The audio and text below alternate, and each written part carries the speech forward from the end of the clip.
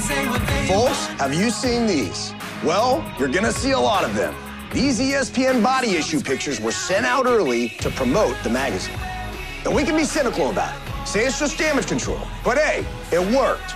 We're talking about these pictures instead of those old selfies stolen by some idiot troll who I hope someday finds himself in jail. short five-game road trip, and they made lots of news, some of it even on the field. Let's start with the baseball. The Padres started their road trip six games back in the wild card hunt.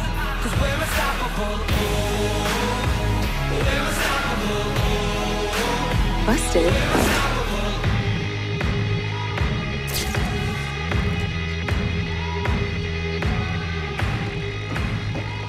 Nice touch. Pulling in the guys. Whole world ought to know. Padres don't discriminate. You just earned yourself a nice long conversation about bobbleheads.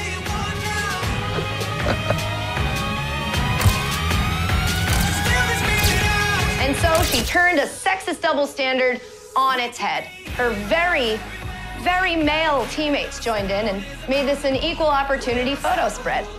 You can probably tell by the look on my face, I am very glad they did that.